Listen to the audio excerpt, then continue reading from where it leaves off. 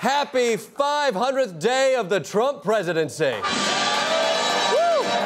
Oh, ooh, ooh, yeah, you guys feel it. Ooh, ooh, ooh, it feels good, you know? It's true what they say about time when you're having fun. It slows to an invigorating crawl. Trump has accomplished so much in his first 500 days, or as Kellyanne likes to call it, the 500 days of American greatness. Well, usually, presidents get measured on their first 100 days. But a great man like Trump takes five times as long to show just how great he is. I wish I could go over all of our president's incredible wins.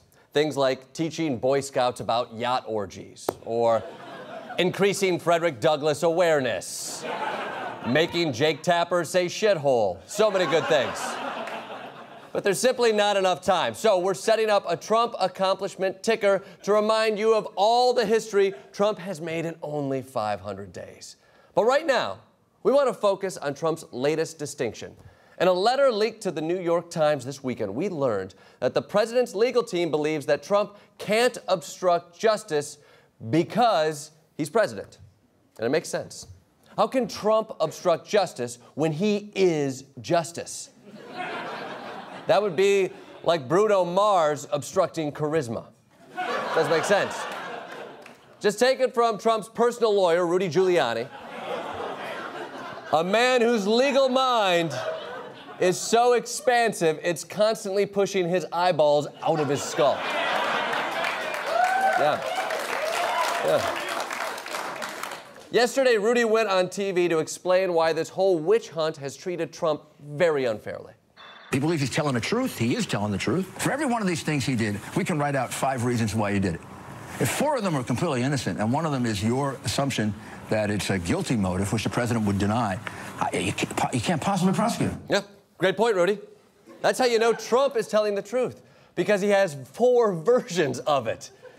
He's, he's the Rashomon of alibis. Anyway, not only can Trump not obstruct justice, even if he did, the president can't be indicted. As Rudy told the Huffington Post that same day, President Trump couldn't even be indicted for murder, which is an incredibly normal thing to say if you're the lawyer of a man whose wife hadn't been seen in 24 days. totally normal. That's fine. Moving on. Moving on. But opposers, even if Trump were indicted, he'd still be fine. Because just this morning, Trump heroically tweeted that he has the absolute right to pardon himself.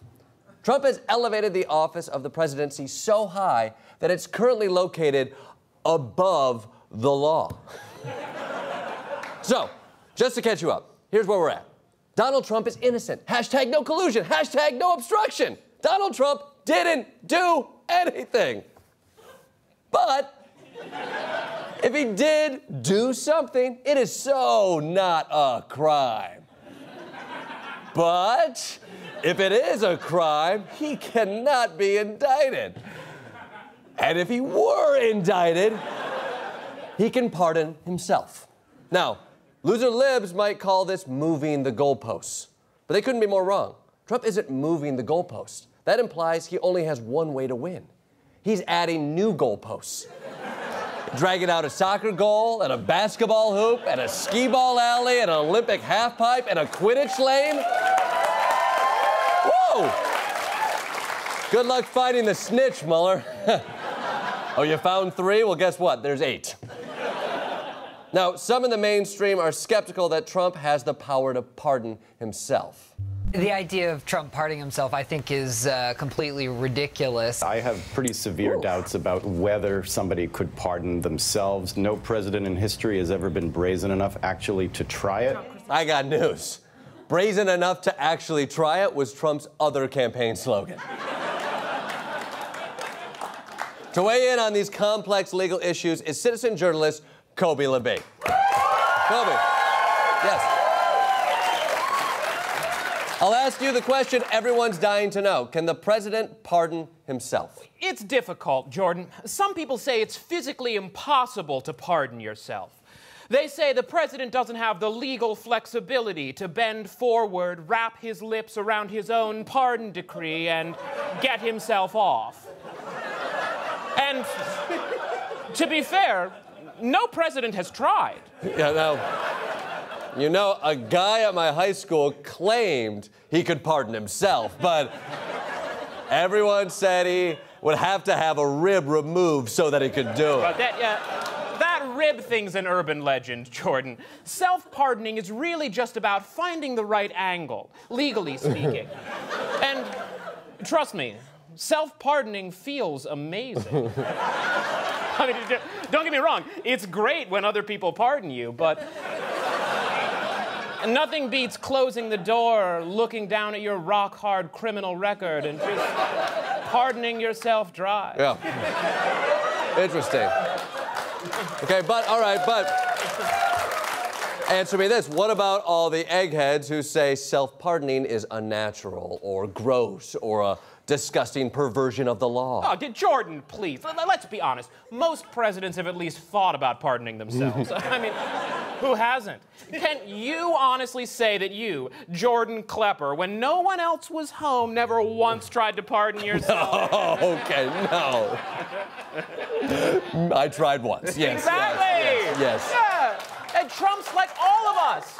The only difference is he's not ashamed to talk about it. And really, there's nothing gross about self pardoning. I mean, sure, giving a pardon, it takes a lot of work, but you're also getting pardoned, which feels awesome. I've outlined it here in this legal diagram. Here's President Trump, the head of state. And here's his pardon power, his raging pardon represented by this sideways and upside down letter P. Yeah, yeah. Of course. And uh, here you see the, the constitutional spine, which has more than enough legal flexibility for the president to pardon himself, as you can see. Okay, come on. It's, all right, so just, just trust me, the Constitution definitely allows for this. You just have to kind of stretch it out a little.